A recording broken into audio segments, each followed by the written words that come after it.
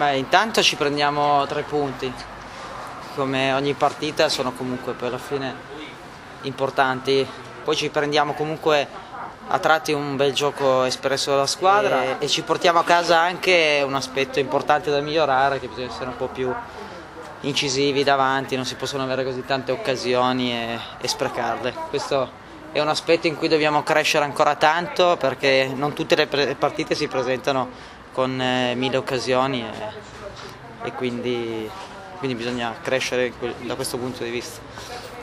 Eh, vista la squadra era una vittoria preventivata in parte, la davate per scontata oppure sapevate che il Sassuolo presentava comunque delle difficoltà di un certo tipo?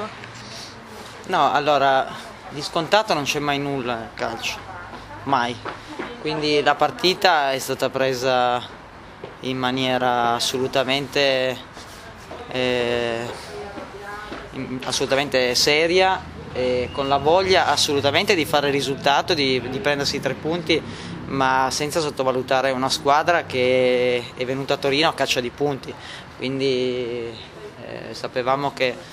avrebbero provato a metterci in difficoltà ripeto, si deve, si deve far meglio, non si può soffrire così tanto fino alla fine. Ancora meno prevedibile sarà il risultato della partita successiva, forse la partita più importante per il campionato di quest'anno. Sì, intanto le ragazze effettueranno la pausa nazionale, quindi avranno la testa, è giusto che sia così, la concentrazione per una partita altrettanto importante di qualificazione per il Mondiale Francia 2019, quindi al loro rientro penseremo alla prossima partita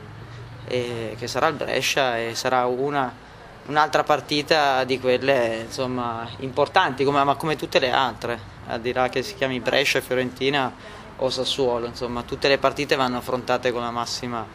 convinzione. Parlato di nazionale, sul versante maschile era un momento particolare il movimento femminile invece negli ultimi anni è cresciuto tantissimo e sta continuando a crescere. Su cosa adesso bisogna puntare per ricostruire in generale il calcio italiano?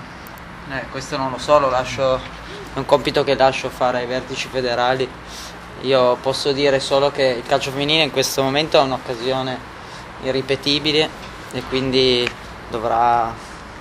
dovrà puntare su questa qualificazione mondiale per eh, rilanciare il calcio femminile eh, una volta per tutte. Io torno invece alla Juve, eh, volevo chiederle se dicembre sarà effettivamente un mese decisivo, tra scontri diretti, poi c'è anche la Coppa Italia. Decisivo no, importante eh, direi proprio di sì. Oggi è esordito anche la RUD, quindi gradualmente si stanno vedendo tutte, tutte, le giocatrici in campo, a che punto è il processo di inserimento, di no. amalgama di tutta la rosa? Sì, no, in realtà la Rud aveva già preso parte a una partita e l'amalgama direi, direi molto bene, è chiaro che adesso eh, pian piano stiamo creando un'identità di squadra e, e non sempre purtroppo riusciamo a dare spazio a tutte, ma insomma, sì, finché i risultati sono questi ce li teniamo e, e, e, spesso quando le giocatrici sono chiamate a far parte e, insomma, della partita sono sempre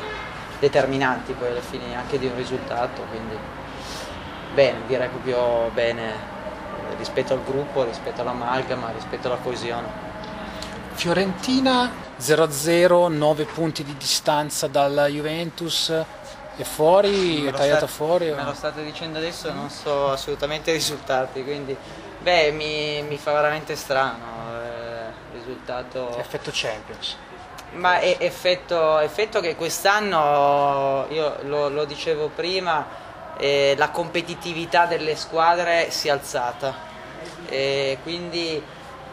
non c'è nulla di scontato e ogni partita va affrontata veramente al massimo perché altrimenti si può eh, cadere e scivolare in risultati di questo tipo qua che ti possono